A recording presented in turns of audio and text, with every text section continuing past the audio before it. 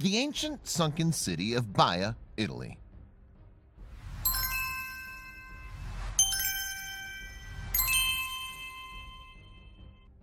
If these ruins from this once beautiful city could speak to us, what stories would they tell us about the inhabitants? Baia, Italy was an ancient city of Rome that was on the shore of the Gulf of Naples. Now it's considered part of Bacoli in the region of Campania. From 100 BC to 500 AD, the extremely rich and elite were the ones who had built luxurious villas in the area, and Baia was one of these resorts that stood for centuries.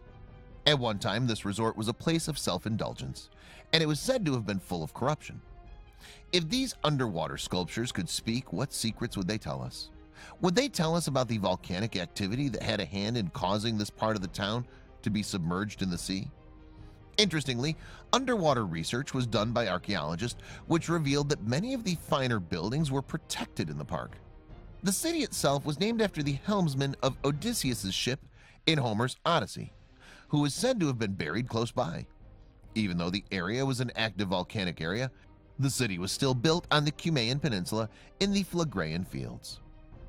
Pictured here is a headless sculpture, so this one cannot speak. Although not depicted in this particular picture, the head is actually not too far from the body. Historical figures like Julius Caesar had a villa in the city, and a lot of the town became the property of Augustus. Nero also had a villa built here in the middle of the first century, with Hadrian, a Roman emperor, dying here in 138 AD. There was also another emperor whose name was Septimius Severus, who loved this place, as it was his favorite place to be. Items were left on display here that once belonged to Pompey's daughter, Pompeia Magna. She'd given them to Tiberius.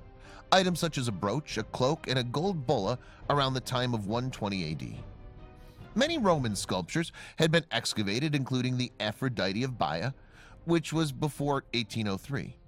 Important archaeological excavations that were done in 1941 included layers of buildings, thermal complexes, and various villas from different ages, like the Augustan age of the late Republican age. The ground was lowered below sea level in two phases. The first phase was between the 3rd and 5th centuries, and then submerged more substantially a century later. By the 8th century, the lower part of the city was largely submerged by the sea.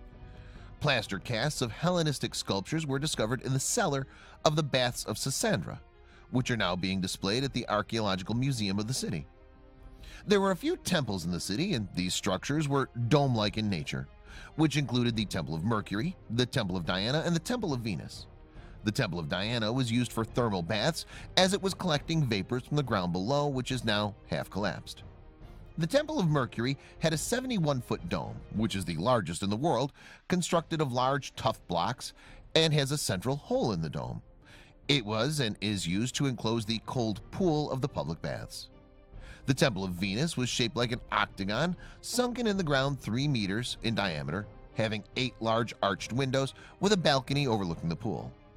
Scipione Mazzella claimed he found the statue of the goddess there.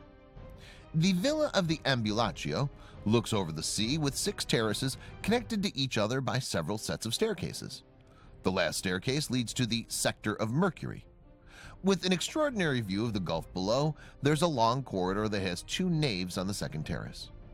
Having been a prominent resort city for so long, catering to the powerful Roman elite, the city was also famous for having healing hot springs that were medicinal. Because these springs were all around the city, it was easy to build spas over them.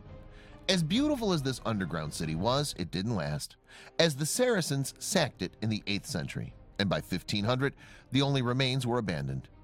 Once the place was abandoned, the water level rose because of volcanic action and drowned most of the ancient ruins. It still makes a beautiful underwater park where visitors can snorkel or scuba dive down into or even view from a glass-bottom boat.